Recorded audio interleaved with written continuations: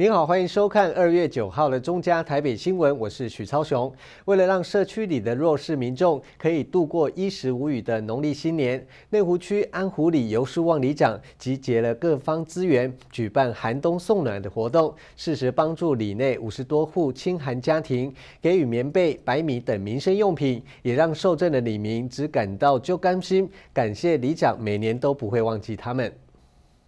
内湖区安湖里的里办公室内堆满了一床床棉被、白米等民生物资。原来是安湖里游树旺里长集结三零零 A 一区飞鹰国际狮子会与搬家业者的帮助下，举办寒冬送暖活动，希望帮助里内的低收入户可以过个好年。今年寒冬送暖，我们的送的对象包括有中低收入户、低收入，还有中低老人。捐赠百米就是威力搬家的郑董事长，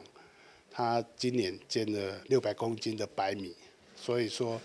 我们也非常感谢这些善心人士，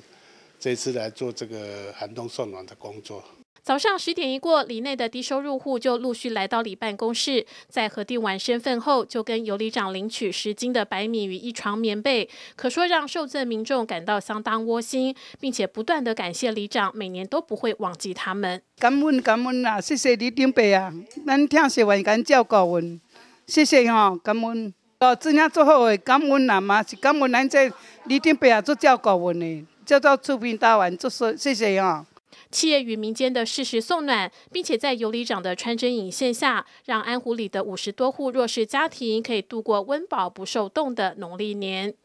中加台北新闻刘德瑜采访报道。